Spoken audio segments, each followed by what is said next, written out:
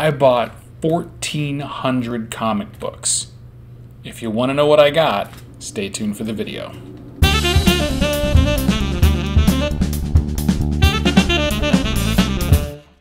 Thank you for clicking play on the video. I'd like to ask you to click the thumbs up, subscribe to our channel, and ring that notification bell so that you can get alerted every time we bring out great content. Thanks. Hey YouTube comic fans, this is Jimmy the Geek Aficionado, and like I said at the beginning of this video, I bought a monster Marvel comic collection. Now, 1,400 books may or may not be a lot of books depending on how you look at it. What this equates to essentially is about six long boxes, but it's six long boxes full of wonderful silver and bronze age Marvel books. All right now, I'm not kidding. This collection has got a lot of great stuff on it.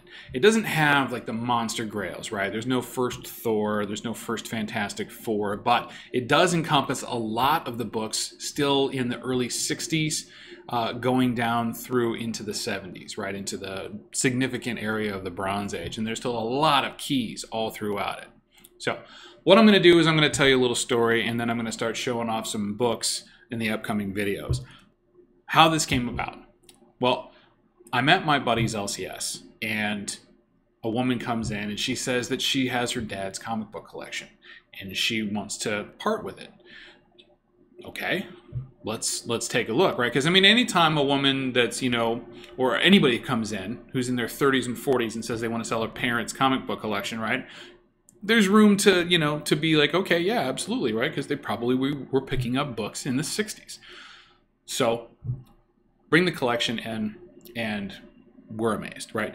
But one of the things that was noticed is that they came in in these big cardboard boxes, these uh, uh, file boxes, right? Now, problem with the file boxes is, is that well, they're not really, you know, weatherproof. And as it turns out, there was a point, that, pretty sure that these boxes were left in a barn somewhere, and some of the books got a little bit of water damage to them, right? Enough where it was wet, and then it was dried, and then the the covers kind of stuck together. So, yes, unfortunately, some of the books were a little damaged. However, all in all, there is still some great stuff in this collection. Enough that I took the plunge because he was not in a position uh, financially to pick up this larger collection. Uh, and it wasn't just like right away. I mean, this was a period of, I think, probably six, eight months between the time that the collection came in the door and then I was actually able to, to pick it up, right? Because I had to kind of save up some money because, let's be honest, 1,400 books is a lot of books, right? It's Silver Age. And she came in knowing a ballpark estimate of what she felt the collection was worth and what somebody had told her the collection was kind of effectively worth, right? Now, as I said, some of the books were damaged, some of the books were not damaged, but all in all, still a great collection. It really was.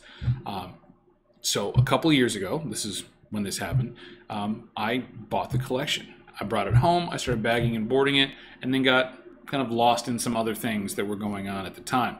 Uh, enough so that it just kind of sat in a room for quite a while. And you're thinking, dude, seriously? You had 1,400 books, Silver Age, and they just kind of sat in a room? Well, I did at the beginning go and take about three short boxes worth out of there that, you know, was the stuff that I was just missing right? So you got run filler stuff, you know, from from the '60s that I was like, okay, you know what, I can start filling up a lot of my runs. Thor, Fantastic Four, Avengers, Spider Man, you name it, right? So it was all there. Um, and then I started to grade it. I got about, I got through the the keys and about maybe half of a short box before again stopped, you know, kind of carried on to something else. So I have gone back to it. I've made the effort.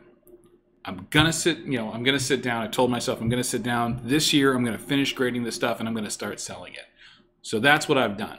I finished grading 1,400 comics. I've got them all lined up, like you saw, um, and now I can actually come out and show you what I got.